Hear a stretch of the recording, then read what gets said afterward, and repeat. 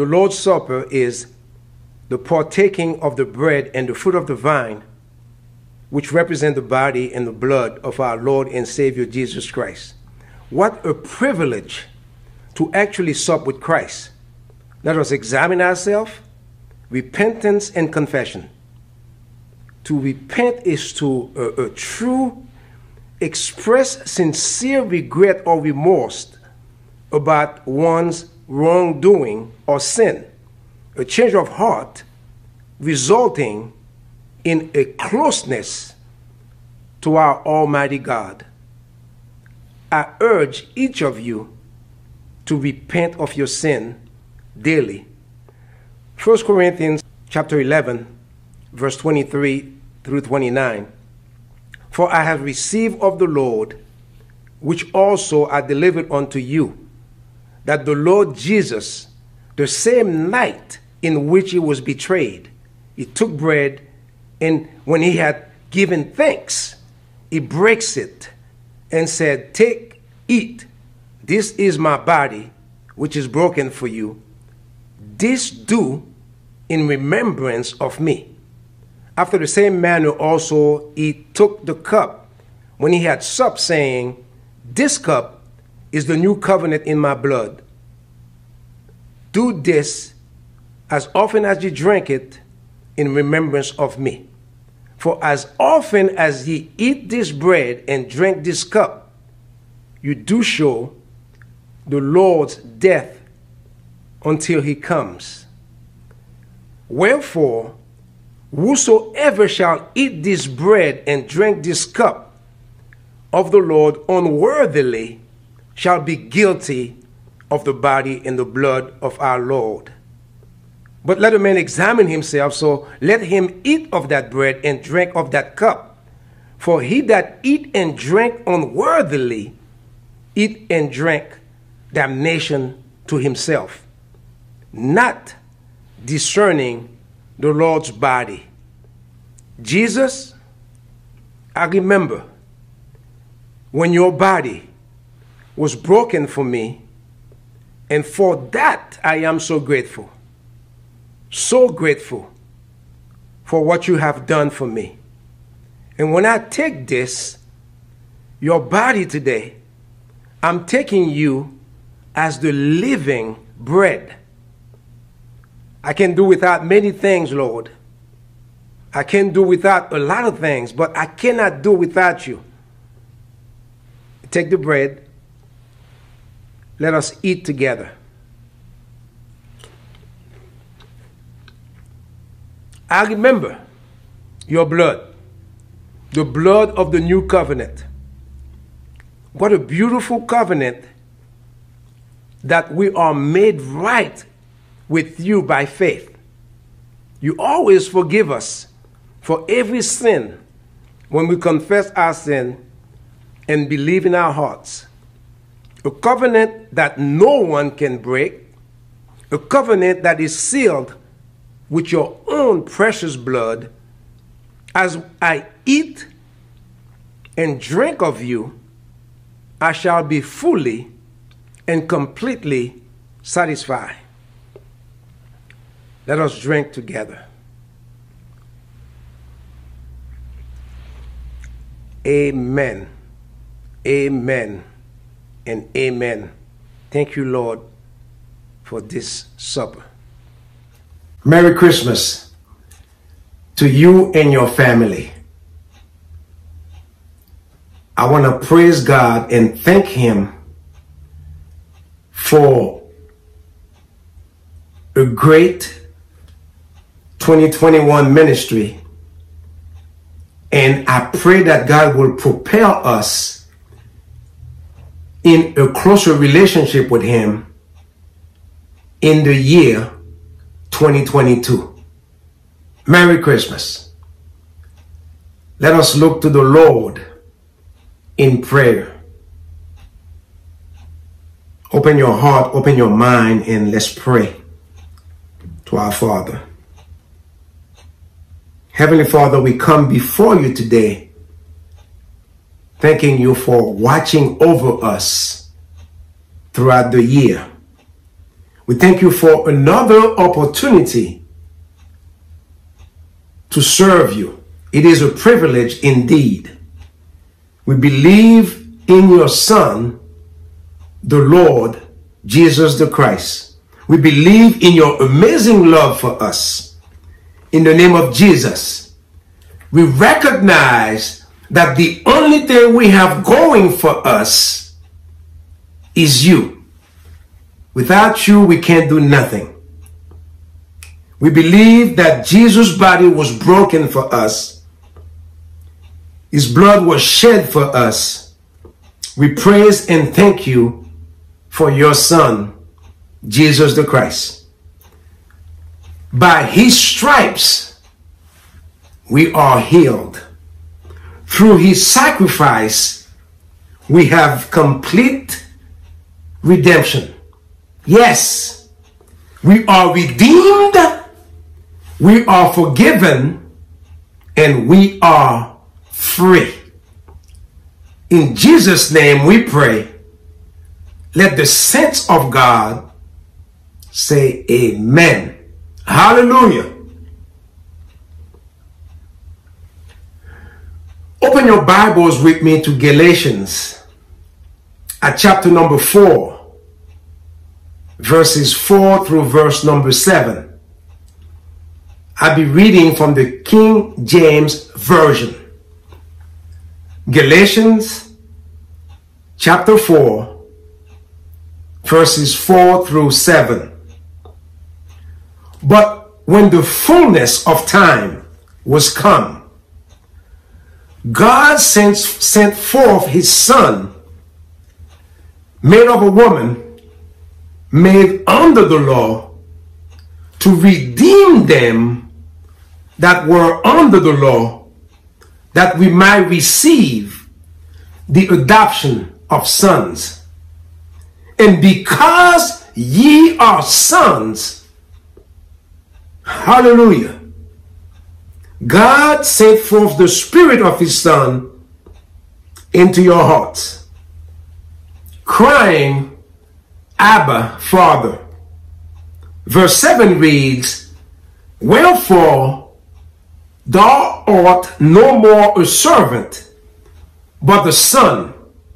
And if a son, then an heir of God through Christ. Thank you. I want to preach a moment about the admiration and the intimidation of Christmas.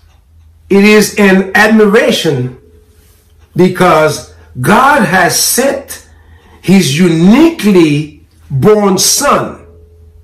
He loves us so much that he sent his only begotten son to save us. And it's an intimidation because everything that is worldly is trying to take Christ out of Christmas. Seasons greetings. Anything not to say Merry Christmas. It's not about reindeer. It's not about lights. It's not about food. It's not about bags and gifts. It's not about sleigh bells ringing and chestnuts roasting. It's about God has done a new thing. Revelation chapter 21 verse 5. And he that sat upon the throne said, Behold, I will make all things new. And the theology of it is so rich and powerful that unless you are not looking for it, you can easily miss it. You can't find it under a tree. You can't find it in the mall. God was in Christ, reconciling the world unto himself. In that song, Hark the Herald, Angels Sing. God, through Jesus Christ, has shown us who he is written by Charles Wesley in 1739. He is the offspring of the virgin's womb. Veiled in flesh, the Godhead see. Held incarnate deity. Please, as man with man to dwell. Jesus, our Emmanuel. That's who Jesus is. But, but, but today I want to share with us what he came to do. I want you to see with me, brothers and sisters, number one, the power behind what Jesus came to do. And it's right here in verse number four.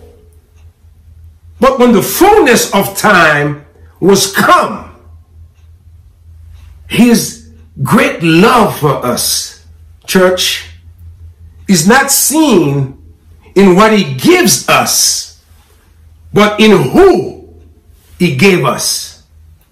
Let me run that by you one more time. His great love is not seen in what he gives us, but in who he gave us. Because those of us who are anemic and young and childish in our faith can only praise God for what he gives. We are only happy when we have something new. Come on, talk back to me if you can. We can only praise God when we get a raise and if we get a new car, if we have some money in our pocket, we have new furniture, we have a new home.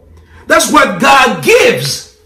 But that's the minimal thing that we ought to be praising God about. Because if God takes all of these things away from us, we still ought to be able to come to church on Sunday morning and praise Him not for what He gives, but who He gave. Romans at chapter number 5, verse 8 says, But God commended his love toward us in that while we were yet sinners, come on, you can help me preach it. You know the scripture. Christ died for us. That's more than a car. That's worth shouting over more than a job. I wish I had two or three believers here. Because if the Lord takes all the stuff again away from us, I still have Jesus. And Jesus, that's all I need. I've got a reason to show up in church, to shout and praise God. I can thank God anywhere. I can praise God in my house, on my job, whatever opportunity God gives me to praise Him. Not for what He gives, but for who He gave. But in the fullness of time, the time was perfect. God's timing is always perfect. It was the right time religiously. Religiously, there was no more idolatry. After the Assyrian host had taken over the northern and the southern kingdoms of Israel and Judah, the diaspora was all over the known world and every idol had been toppled. No more idolatry. It was the right time religiously. And then it was the right time culturally because Alexander the Great has conquered the known world and Greek is the common language. And so that everybody can hear the gospel in the common Koine Greek of their day. It was the right time culturally because everybody was able to hear the gospel. And then politically, it was the right time because of the real Romano the Lex Romano and the Pax Romano, where Rome makes enough freedom with enough control to maintain itself as a superpower. So that because of the laws and the streets and the aqueducts and Rome's freedom to the people of God, that now the gospel can get out all over the place because God waited for the right time.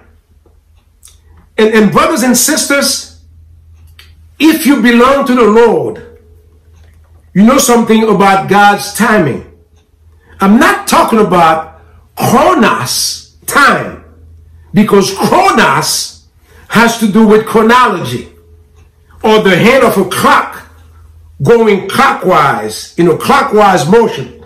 That's chronological time, like January, February, March, April, and May. That's chronological time, or 12 o'clock, 1, 2, 3, 4 p.m. That's chronos time. But God does things in kairos time. God blesses us in time that we don't expect the blessing to show up. We don't expect the blessing to come. When least expected, God just blesses us with blessing we don't even understand. Because God opens the door for us in time. He may not come. My grandmother said to me one time, He may not come when you want Him but he is always on time. I need some witnesses here who can help me testify that when you don't wait on God, when you don't wait on God, God, you always pay for it at the end. Worse than not waiting on God is wishing you had waited later on. Because God's time is not our time. God's ways is not our ways. You can't help me preach it? Isaiah chapter 55 verse 8. You have some prayers answered in a way that you are not expecting. God does not give you the option to choose the answer. He just say, ask and it shall be given. And he knows what you need chironically rather than chronologically. But brothers and sisters, as I want to talk to you. Not only does God have to get your blessing ready for you, He got to get you ready for your blessing. Because if you get too much too soon, you start thinking that you made it on your own. And that's what's wrong with us. And that's what's wrong with these children now. Yours and mine. They have too much. They don't have to struggle for anything. They don't have to suffer for anything. That's why they don't appreciate anything. You who are around my age, you can't remember that it looked like Christmas would take forever to come. And myself, me and my brother Bobby would be in bed at five o'clock in the afternoon, just waiting on Christmas to come. And my, my mother and my father used to say, you better get in bed because Santa is right down the corner, right down the street by Miss Vine house. And I, I mean, we got under the cover, covered up, just waiting for Christmas to come. But these children now, they got so much. They got too much.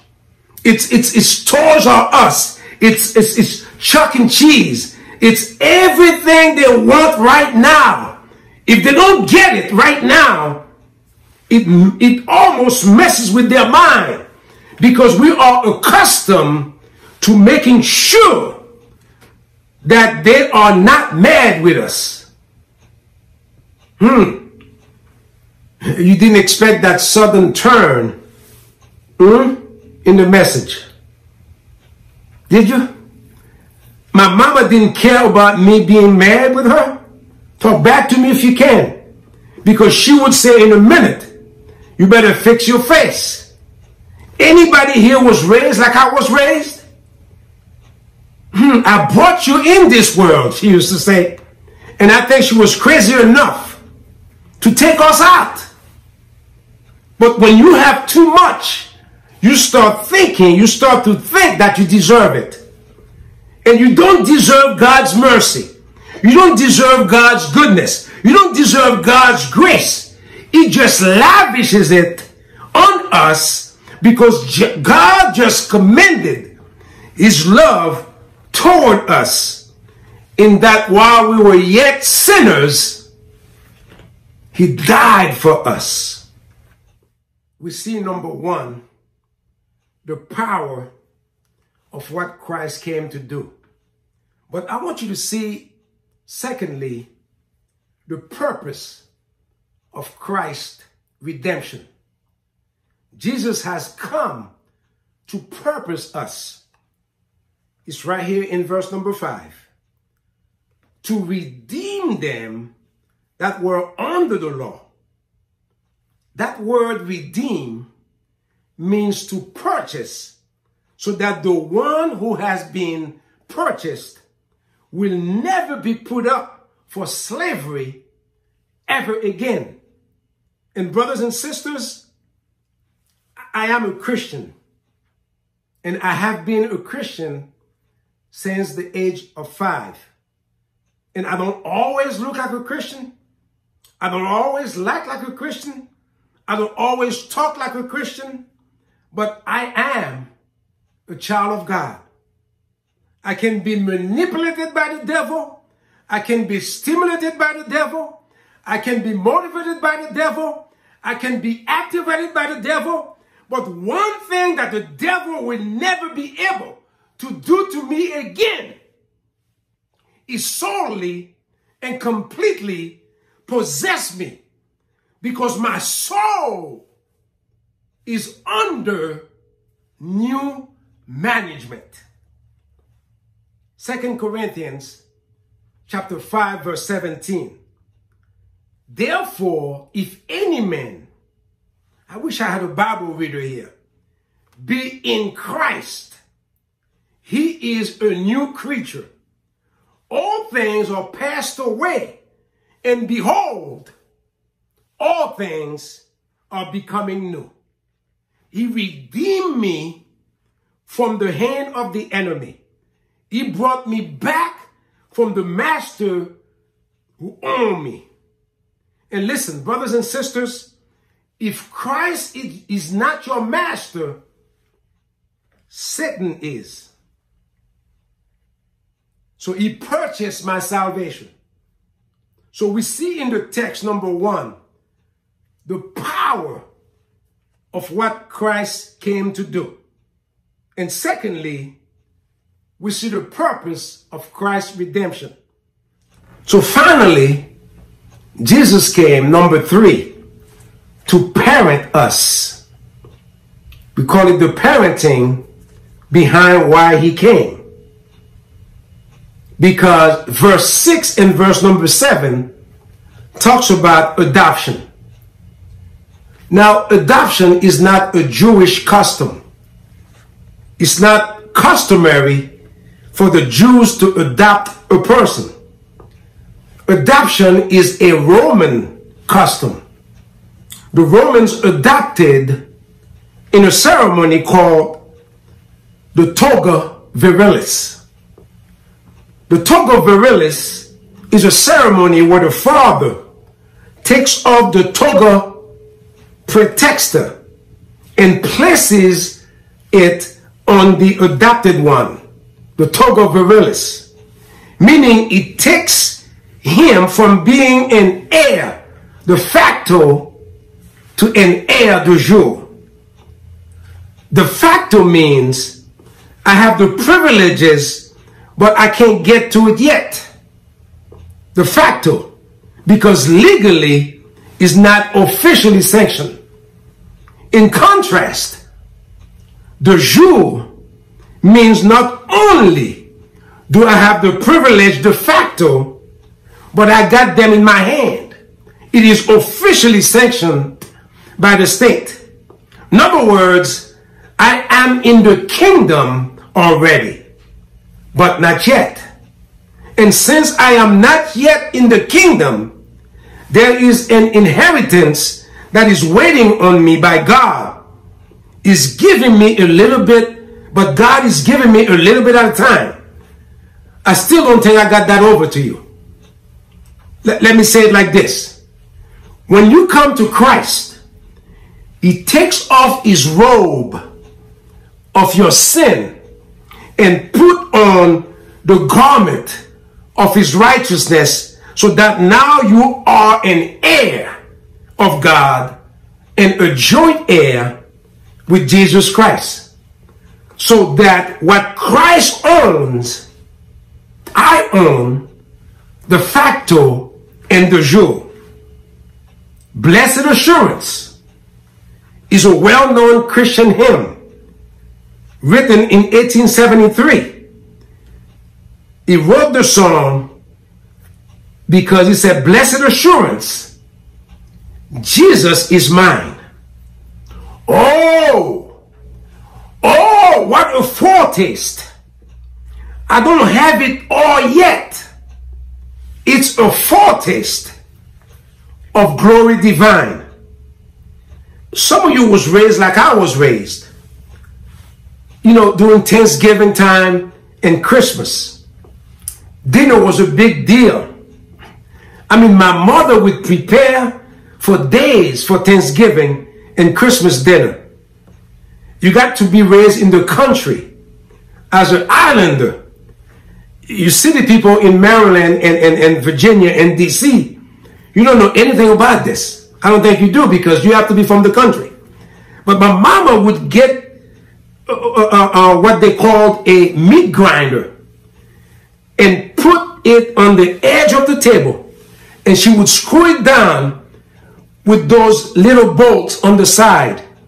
You got to be over 50 to know what I'm talking about. And, and, and turn that meat grinder and that meat would come out on the other side. And every time, in, in uh, uh, and every once in a while, she put her hands under there and let me taste it. That was the that's that was that wasn't the dressing yet. It was a foretaste. And you remember those old-fashioned ice cream makers? You would put dry ash on the top and and, and, and, and of it and turn the crank and, and that custard with that custard and the little thing in the middle. And every once in a while, she'll put a spoon in there and give us a taste. It wasn't an ice cream yet. It was just a foretaste. Somebody ought to help me preach here. Every once in a while, God just give me a taste. I'm not in heaven yet, but every now and then, He gives me a foretaste. That's it what shouting on Sunday is all about. That's what praising God on Sunday morning is all about. I haven't seen my mother yet. I haven't seen my father yet. I haven't seen my Savior yet. But I got a foretaste. I am an heir of salvation. I have been purchased by God. I am born of His Spirit. I am washed in His blood. And this is my story. This is my song, praising my Savior, perfect submission, perfect delight. You're going to help me preach this, won't you? Vision of rapture now bursts on my sight.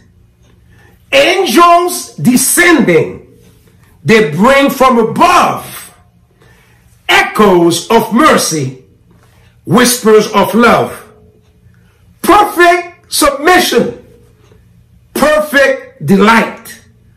All is at rest. I am happy and blessed. Wow. We need to start practicing before we get to heaven. Because God, we are praising the Savior all the day long. Is there anybody here praising my Savior all the day long. Is there anybody here know something about a foretaste of glory divine? Is there anybody here know God has been good to you? No, he had not been for the Lord who is on your side. You wouldn't be where you are right now. If the Lord opened doors for you, that's just a foretaste.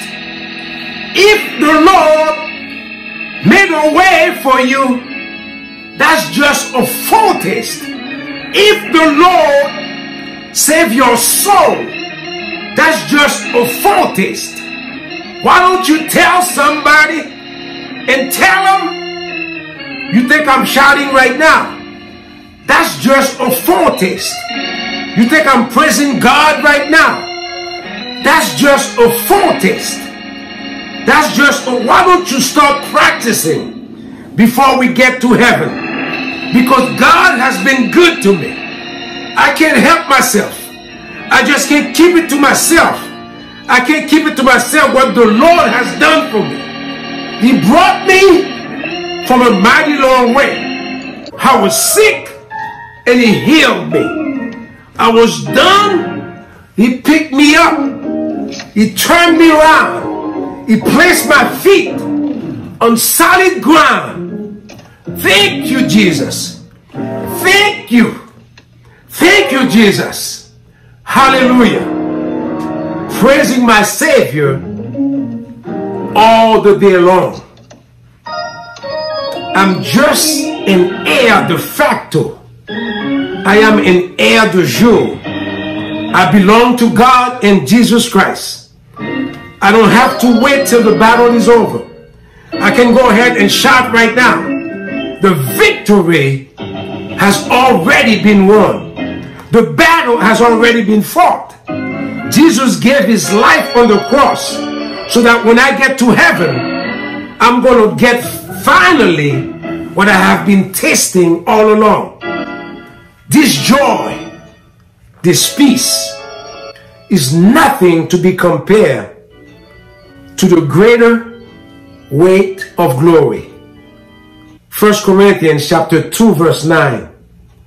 But as it is written, eyes have not seen, nor ear heard, neither has it entered into the heart of those that God has prepared for them that love him.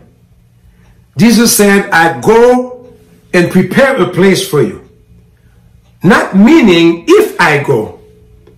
Not meaning I may or may not go. It means that since I'm already going, I'm going to come again and receive you unto myself.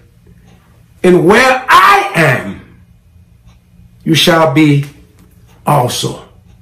The admiration and the intimidation of Christmas.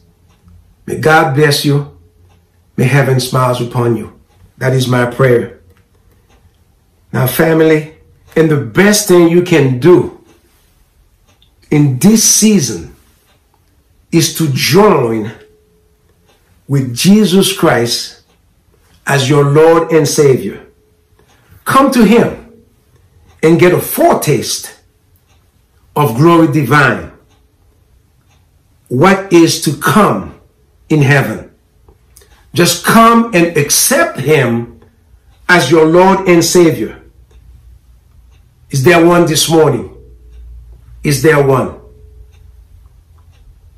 Amen. For the benediction, we want to thank God for watching over us with 2021 ministry. Praise God for launching us powerfully into the 2022 ministry. We want to praise God for that.